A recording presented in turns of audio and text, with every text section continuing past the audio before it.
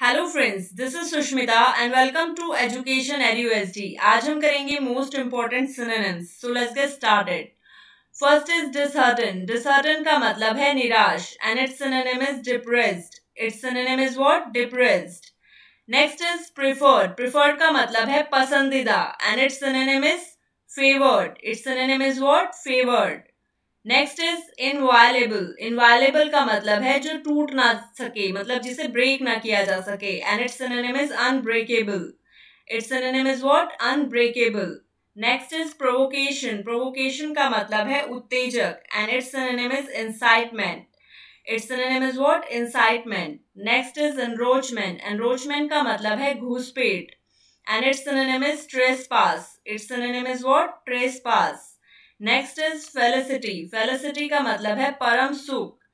मतलब आनंद. And its synonym is gladness its synonym is what gladness next is capitulated capitulated का मतलब है हार स्वीकार कर लेना.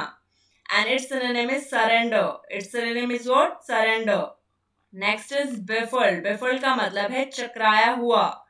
And its synonym is confuse its synonym is what confuse If you like the video, please like, share and subscribe and press the bell icon for more updates. Guys, bell icon ज़रूर press कर लें इससे next आने वाली video की notification आप सभी को मिल जाएगी. All पर click कर लें. Thanks for watching.